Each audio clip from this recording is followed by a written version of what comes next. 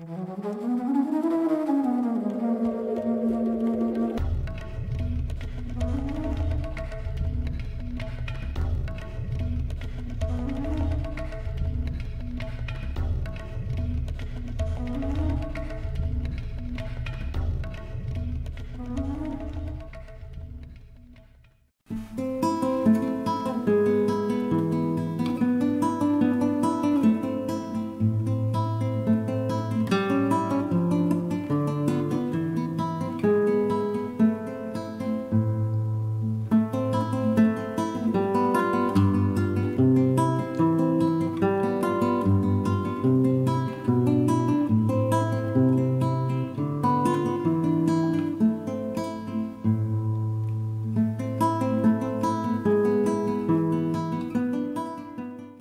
question is out of that parable who enters the kingdom?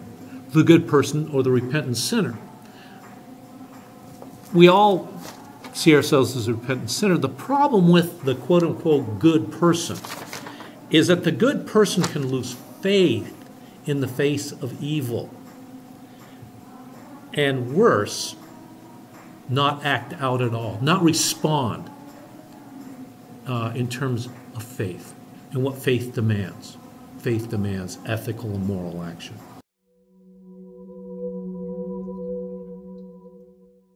That leads us to God the Father and the problem of evil in the world. And I'd like to begin where I kind of left off last week, talking about our friend St. Augustine. In the Confession, St. Augustine told this story. When he was 16 years old, he was hanging out with his buddies. They're sort of this, I wouldn't exactly call them a hoodlum gang, but, uh, you know, his, he didn't think much of his friends later on in life. But they were all this pack, his posse, if you will. And they see this neighbor's tree, happened to be a pear tree, and they stripped it of its fruit, ate some of it, found it wasn't, you know, wasn't quite ripe enough, and then they let it all rot. Mm. Okay? A clear act of juvenile vandalism. What was interesting about him telling that story is he says that was the worst kind of evil. And you might say to yourself, how can this act of vandalism, this it, it's stupid and it was destructive, but it only had to do with this one tree and it'll bear fruit next year. How was that the the the the worst kind of evil? And he responded, because it was done mindlessly. There was no reason for it. Why did we do it? Oh, just for the fun of it, just for the hell of it. That's why we did it.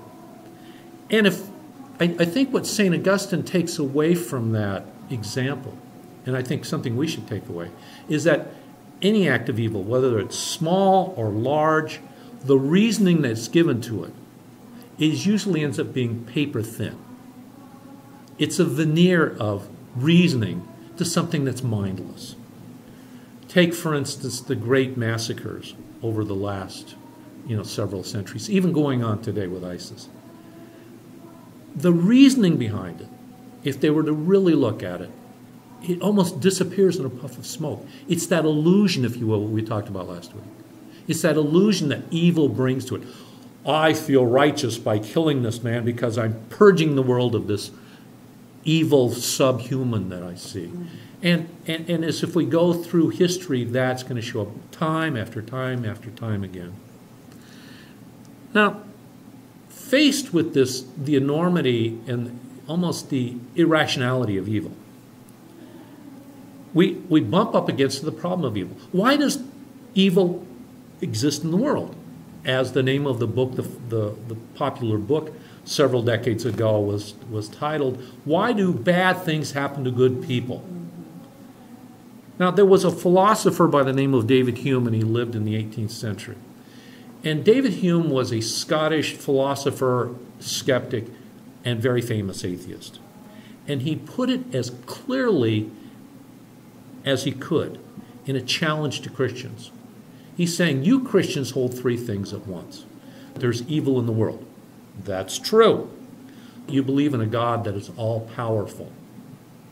You believe in a God that is all loving. And when we look at the notion of God the Father, the, the classic philosophical definition of God is a being that is all knowing, all powerful and all good. He's all knowing. He's, uh, he's omniscient. He's all powerful. He's omnipotent. And he's all loving. He's benevolent. And I don't know about you, but if I were looking for a philosophical definition of God the Father, a God that was loving, who loved me unconditionally and was all powerful working my life, that's it. That's my image of God. He loves me unconditionally and he is active in my life. That's the kind of God I want to call Father. Now, David Hume said, You Christians can't hold all three of those together. Either, because there's evil in the world, you can't take that away. You either live, you either believe in a God that is all powerful, but if there's evil in the world, that means that God is, is either evil or responsible for evil. Or you believe in a God that's all loving, but there's evil in the world, so he's not all powerful. You can't have it both ways. Now, being a skeptic, he's going to say, there's evil in the world. You can't hold the other two together with that evil. So the idea of God is irrational. But he sort of lays it out very, in very stark terms. Now, how do we as Christians answer that?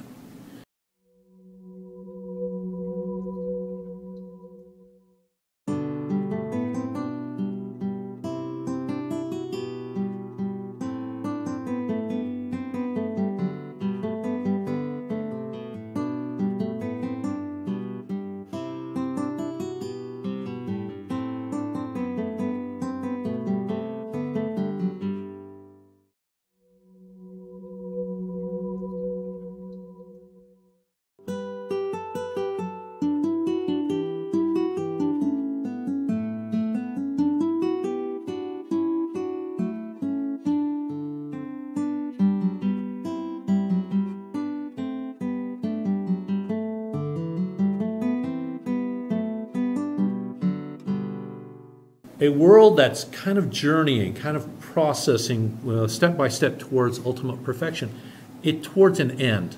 That end, of course, is life with God, present, perfectly present, sort of at the end of the world.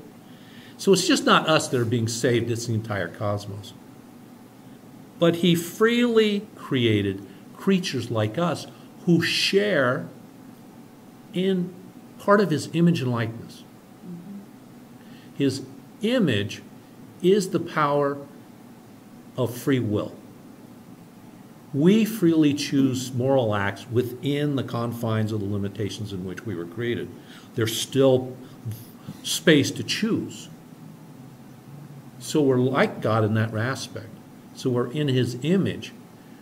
But we are are we in his likeness? In other words, do we make choices that are for the good? And that's the challenge that we face. But God created this world so that we could make those choices, so that we could participate with Him in the ultimate, uh, the journey towards that ultimate perfection. But the point here is that we have the power to make choices just like God. And we have the power to either improve the situation or destroy the situation, good and evil.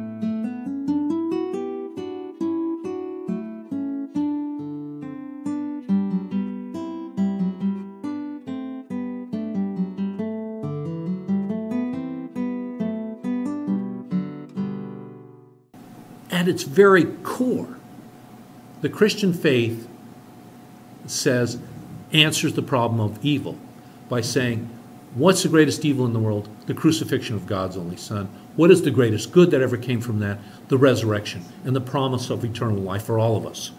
In other words, we can participate in a good greater than any evil throughout the world. And that good is eternal life. And it's open to everyone.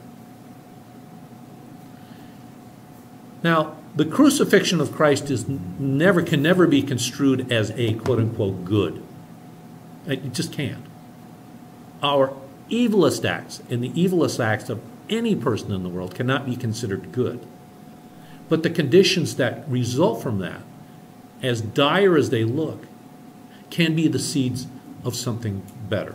And that's what God uses. He uses our condition, the way we are, to produce better good. So, at its core, as believing Christians, we hold that even though we do bad things, even though bad things happen to us, we can always have hope. And we can always be proven uh, justified in that hope because of what God does.